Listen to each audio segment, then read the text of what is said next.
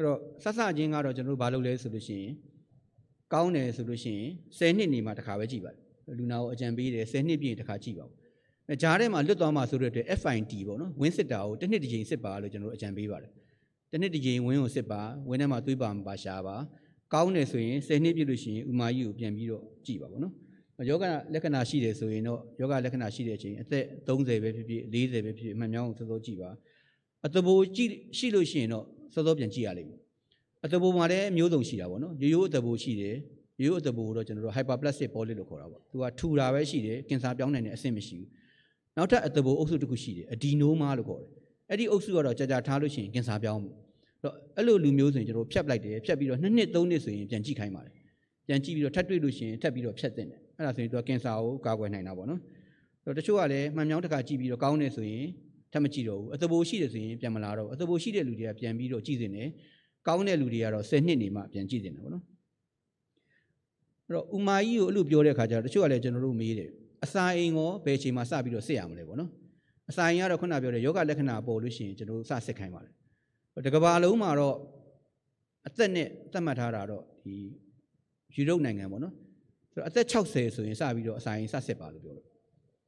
ယောဂလက္ခဏာရှိရှိမရှိရှိစစစ်ပါလို့ပြောတယ်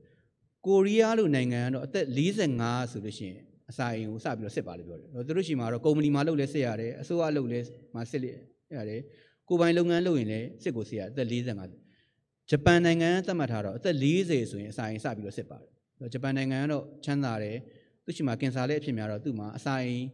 ကင်ဆာတို့ဘာတို့ကြောက်တဲ့အတွက်သူ့နိုင်ငံသားတွေဆိုအသက်40ကိုအစိုးရအစပြီးတော့စစ်ခိုင်းပါတယ်ကျွန်တော်တို့ရှိမှာတော့အဲ့လိုချမှတ်ထားတဲ့ policy မရှိသေးဘူးကျွန်တော်တို့ကတော့ Asian နိုင်ငံထဲမှာပါတဲ့အတွက် ဂျပန်တို့ကိုရီးယားတို့လိုပဲလူနာလာပြလို့ရှိရင်တော့အသက်40 45ဆိုလို့ရှိရင်သူစစ်ချင်တယ်ဆိုရင်ကျွန်တော်တို့အစာရင်ကိုစစစ်ပါတယ်။ဥမာကြီးကိုတော့အသက်50ပြည့်ရင်စပြီးတော့စစ်ပါတယ်။ဒီပုံလေးကတော့ CT colonogram ပေါ့နော် CT ထဲရိုက်တယ်။ဥထဲကိုလည်းဆေးသွင်းပြီးတော့ဓာတ်မှန်ရိုက်တာပေါ့နော်။တချို့ကအမှန်မြောင်မှုကြည့်ကြည့်လို့ဆိုအဲ့နီးနဲ့စစ်ပါတယ်။အဲ့နီးနဲ့စစ်တဲ့ခါကျတော့အထဲမှာအကျိတ်ဖူရှင်မြင်ရတယ်။မကောင်းတာကတော့သူကဓာတ်ရောင်ကြီးတွေ့နိုင်တယ်။အကျိတ်ဖူတွေ့လို့ရှိရင်အသားသားယူအောင်အသားသားယူဖို့တည်းမှန်မြောင်းတစ်ခါပြန်ထည့်ရမယ်။ နောက်တစ်ခုကဒီဥကြည့်တဲ့အခါမှာဥထဲမှာဝင်းနေရှိနေကျွန်တော်တို့တွေအဆင်မပြေဘူးဥတန့်အောင်လုပ်ရတယ်အဲ့တော့ဝင်းနေရှိနေလို့ရှိရင် तू ကယောဂကိုမရှာပေးနိုင်ဘူးဒါမှမဟုတ်ဥမာကြီးကြည့်မဲ့လူတွေကျွန်တော်တရားမှားတယ်ဥတန့်တဲ့ဆေးကိုတရားတောက်ပါဝင်းနေကြံနေလို့ရှိရင်ယောဂရှာရတာအလွန်ခက်ပါတယ်ဗောနော်အဲ့တော့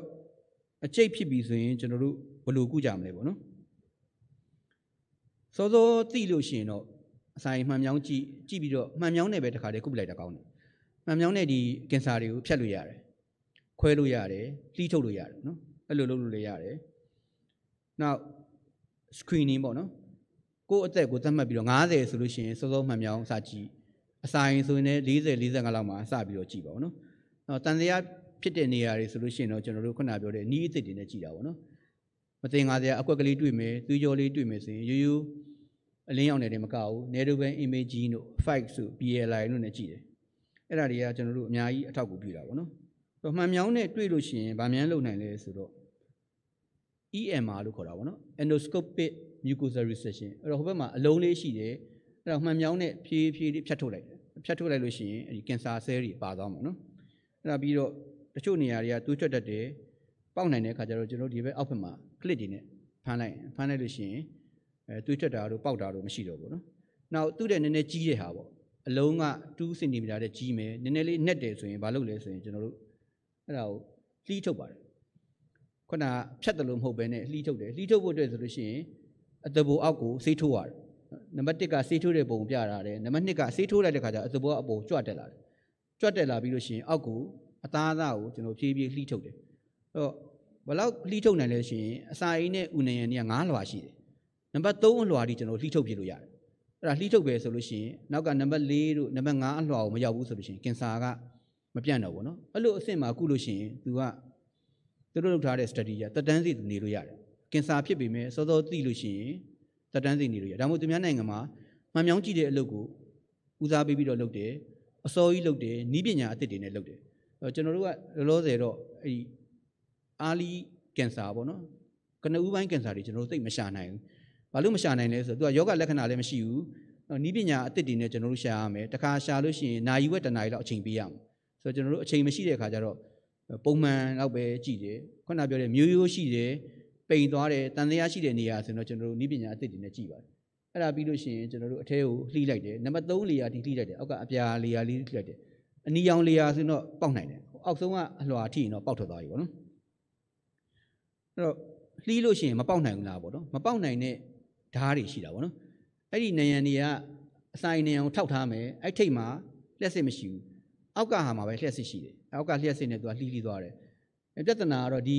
လုတ်တဲ့ဓားတွေကဈေးကြီးတယ်တခါသုံးနေပေါ့နော်အဲ့ဒီကသူကဆက်နေလာတာတခါသုံးနေဖြစ်တဲ့တခါဖောက်မယ်ဆိုရင်ကျွန်တော်ဒေါ်လာ2000ပေးရတယ်ဒီဓားတွေကအဲ့တော့ကျွန်တော်တို့ရှိမှဒီဟာတွေကိုကုဖို့အတွက်ကနည်းနည်းလေးခက်ခဲနေတာပေါ့နော်ဇရိတ်ခက်ခဲတယ်နီးပညာခက်ခဲတယ်အချိန်ခက်ခဲတာပေါ့နော်နောက်တကယ်လို့သွေးထွက်ရင်ဘယ်လိုလုပ်မလဲဆိုအောက်ဆုံးနံပါတ်5ပုံမှာပြထားတယ်သွေးထွက်လို့ရှိရင်အဲ့ဒီကလစ်နဲ့ဖမ်းလိုက်လို့ရှိရင်သွေးကြောတွေကျုံသွားမယ်အေးသွားမယ်သွေးကိုအများကြီးထိတ်နိုင်တယ် ဆိုတော့သူတို့ရှိမှခွဲလဲခွဲတယ်သွေးထွက်ရင်လည်းထိတ်နေပေါက်သွားရင်လည်းကလစ်နဲ့ဖမ်းပါတယ်ဒီဟာကြည့်လိုက်မယ်ဆိုရင်နံပါတ်1ပုံမှာမသေးကြဘူးနံပါတ်2အနီးကကြည့်တော့ကင်ဆာတန်တရားရှိတယ်တန်တရားရှိတဲ့ခါကျသူ့ ESD နီးနဲ့ကျွန်တော်လှီးလိုက်တယ်လှီးလိုက်တဲ့ခါကျနောက်ဆုံးဒီလောက်ထိထွက်သွားတာပေါ့နော်ဆိုတော့စောစောသိလို့ရှိရင်တော့မှန်မြောင်းနဲ့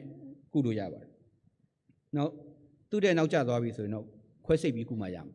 ယ်ခွဲစိတ်တဲ့ခါကျရင်တော့ခွဲစိတ်ဆရာကိုကျွန်တော်တို့အကူအညီတောင်းရတယ်ခွဲစိတ်ဆရာသူ လိုတဲ့အပိုင်းတွေဖြတ်ပလိုက်မှာပေါ့နော်ဖြတ်လိုက်တဲ့ခါကျလို့ရှိရင်နောက်ကောင်းတဲ့အပိုင်းကိုသူပြန်စစ်ပေးမယ်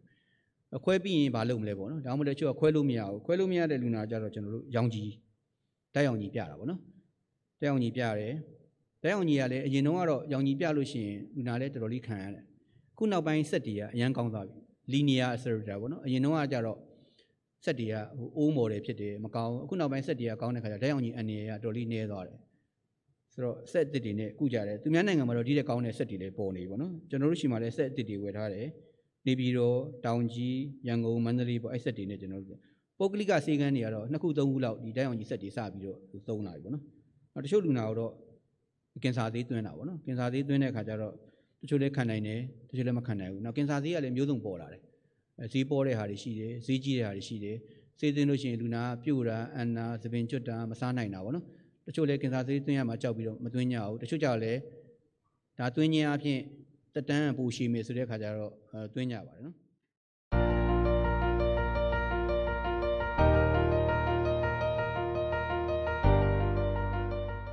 CFAM Caring for Well-being